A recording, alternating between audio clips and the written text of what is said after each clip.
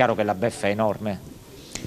Sì, ci dispiace tanto perché ci tenevamo, ci tenevamo a portare comunque un risultato positivo a casa dopo la prestazione comunque secondo me è stata di, di livello contro la prima in classifica e nulla, siamo mareggiati ma è andata così. Fino all'espulsione di Drudi in campo c'era una squadra sola.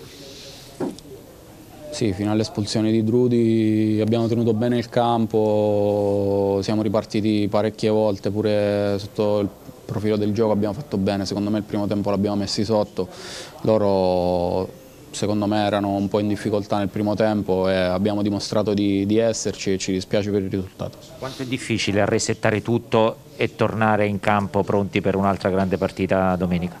Ma penso che non è difficile assolutamente dopo diciamo, la prova di stasera dove ci siamo confrontati appunto con una squadra forte, abbiamo tenuto così bene il campo, penso che ci deve servire solo da stimolo per le prossime partite. Trevisio sta molto bene oggi, prestazione super.